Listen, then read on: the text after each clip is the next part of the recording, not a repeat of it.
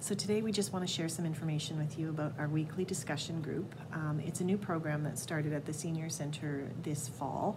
Um, and basically, it was just born of an idea of wanting to help people ease into going out with uh, and being around other folks because you know after so many months of being indoors and being so careful um, and, and, we're still being careful but um, it can cause some anxiety for people and we know that um, and that's sort of what we wanted to um, help people with uh, with this program. It's, so it's a very casual program. It happens once a week, uh, Thursday afternoons, um, and it's just basically a discussion group. Um, so they start every session um, talking about something that they have brought from home that they um, find interesting and would like to share with others. So it's kind of a little bit like a show and share to sort of break the ice and get started.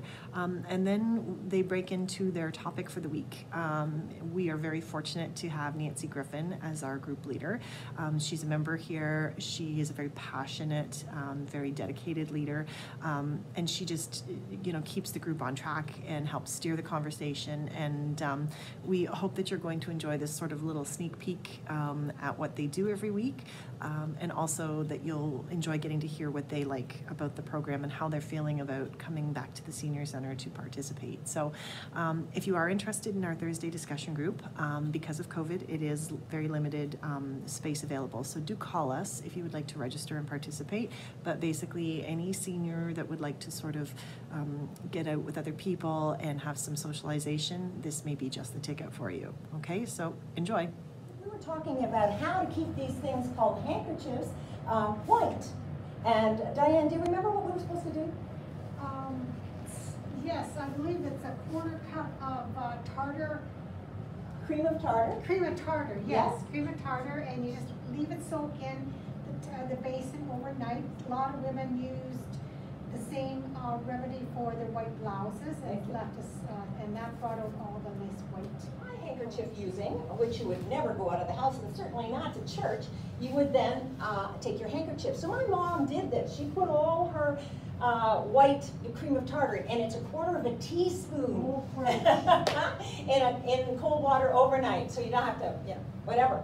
But she put this together, and here are all my handkerchiefs. So even though no one else today uses handkerchiefs, um, I've got mine here, and, and I and bring a lot of memories from it.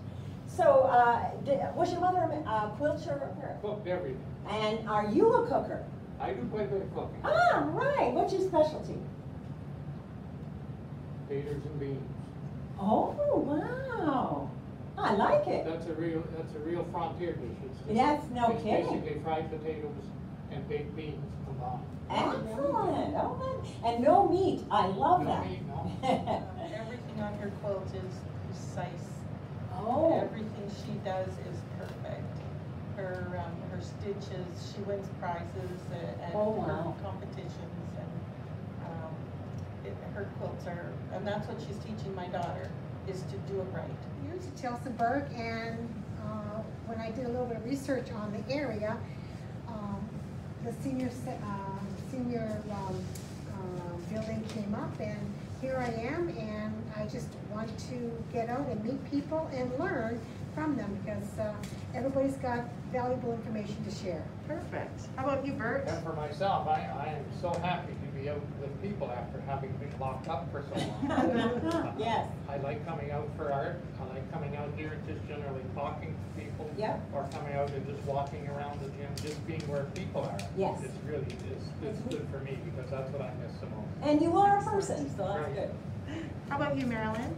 I agree with Diane and Bert, it's nice to be out among people again, but this group is, is, is an interesting group. We talk about all kinds of things and um, we get to see what's special to uh, everyone, which is really interesting.